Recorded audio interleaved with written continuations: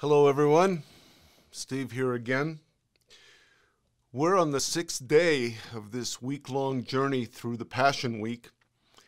And after talking yesterday about the crucifixion, we're going to move to something that's called Holy Saturday or Christ's descent into Hades.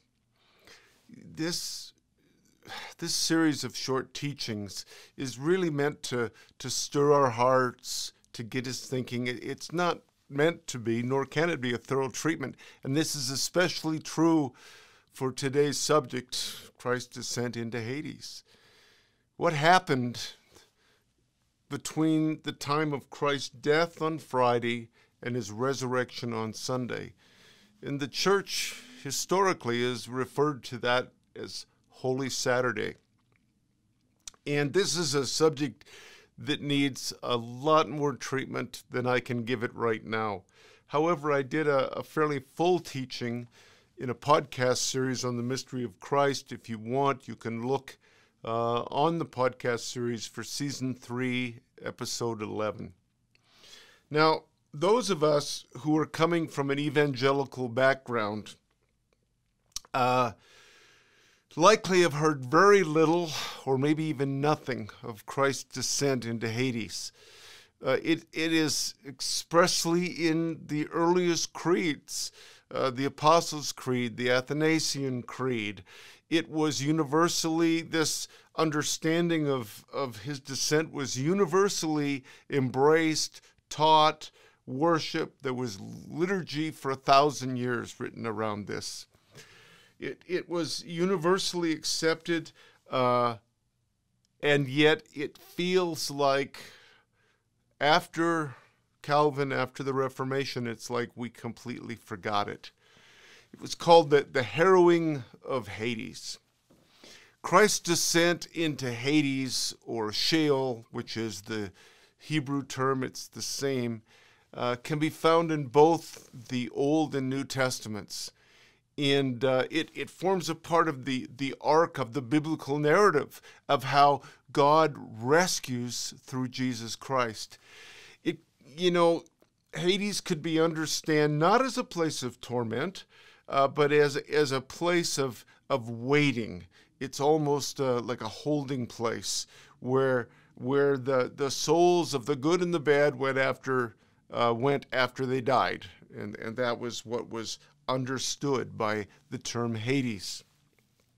We'll talk another day. Hell, which literally does not appear anywhere in the Bible, um, uh, that was a term from another culture four or five hundred years afterwards. Uh, Gehenna does, and we'll talk about that another day. So let me give you some examples, first from the New, then the Old Testament, of, of Christ's descent into hell. Uh, Peter, uh, in 1 Peter 3, he says this Christ suffered for our sins once for all time.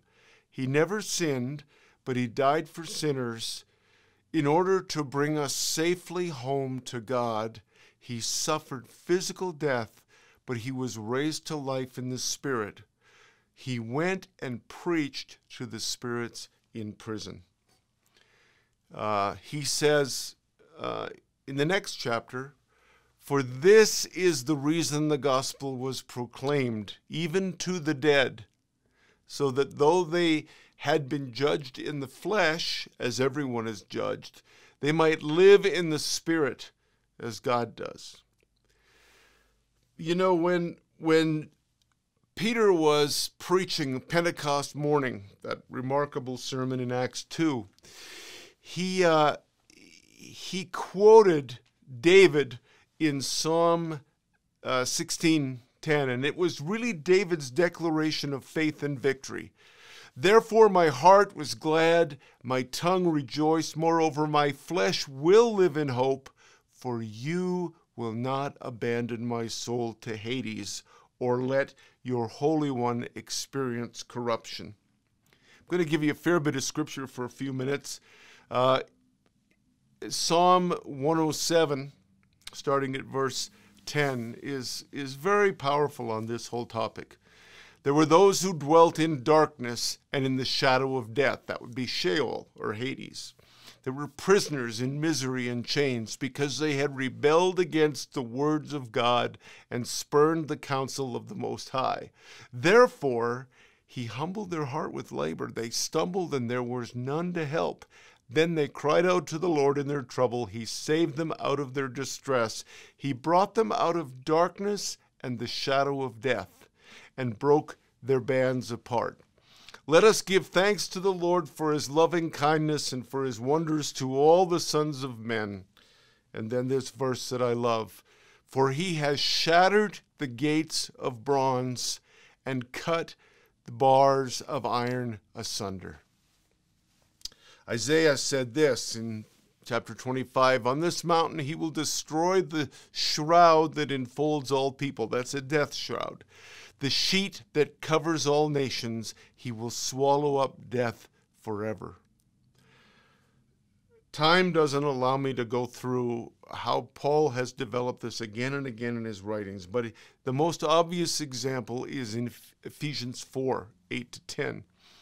Um, he clearly expresses Christ's descent into Hades and its purpose when he said this when he, Christ, ascended on high, he took many captives and he gave gifts to his people.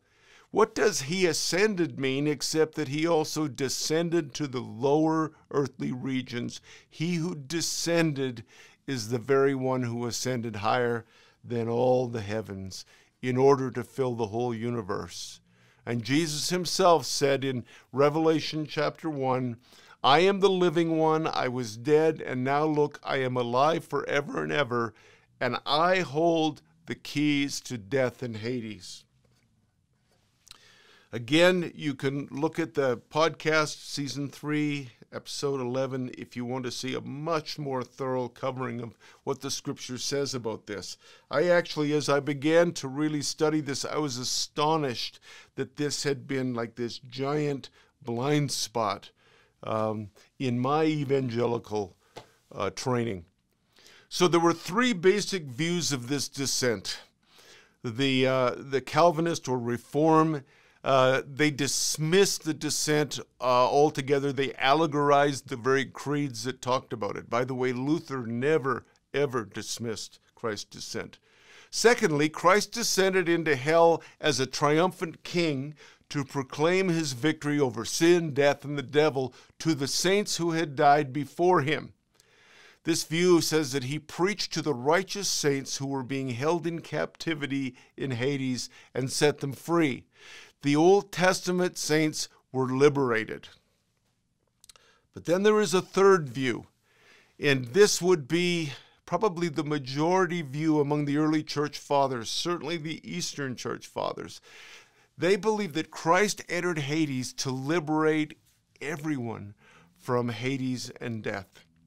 If you look through passages like, for example, Colossians 1 15 to 20, you will see this incredible emphasis on, on the complete work that Jesus did.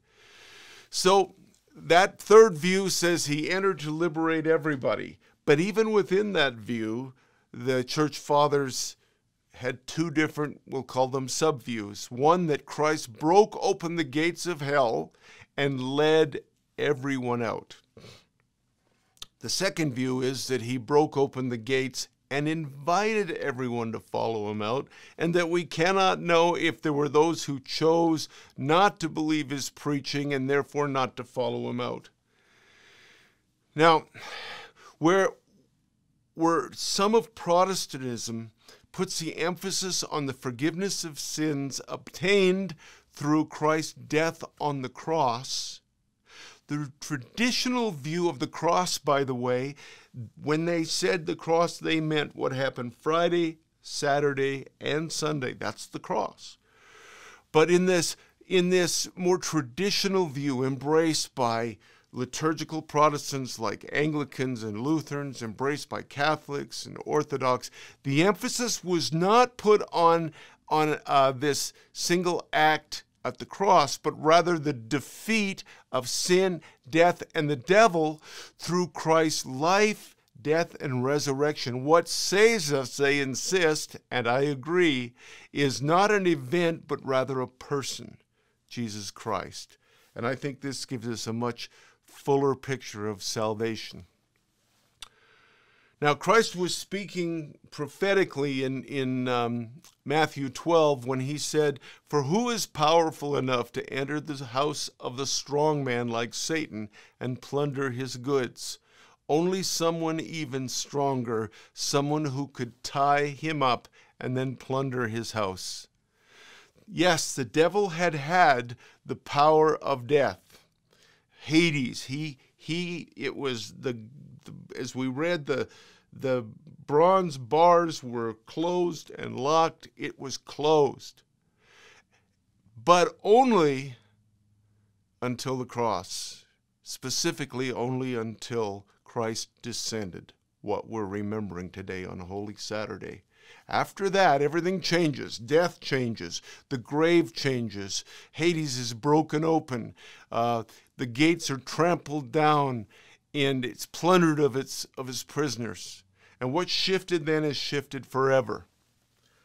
Now, when I taught this fully, um, and I'm not sure when it was, year and a half ago maybe, only an hour or two before I began the teaching, I went out for a walk and I had something so strongly come to me, uh, an impression that was so vivid I don't know that I'll ever forget it. And so let me just share with you. So I'm not teaching you now, I, am just sharing my heart from this impression, my faith.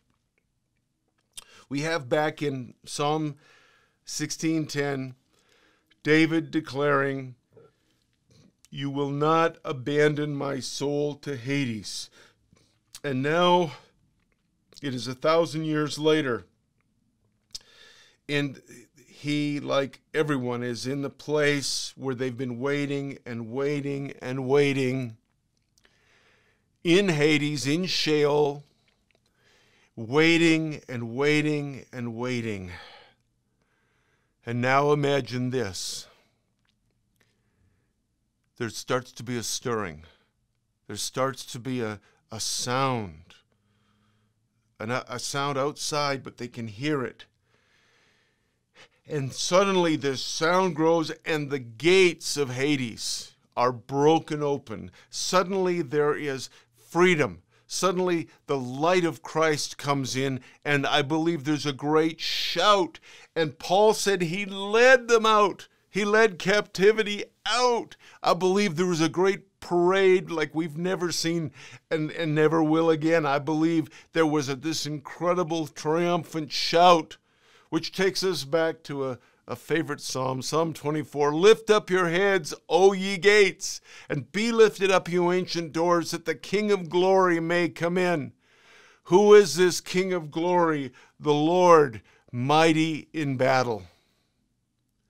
On the cross, Jesus took all of our, our uh, pain, he identified completely. But, but at his death, when he descended, he did not come to identify, he came as a mighty victor. And as this one leading captivity out, he came as a victor. This is the victory of the cross. This is the victory of what took place on what we call Holy Saturday. God bless you.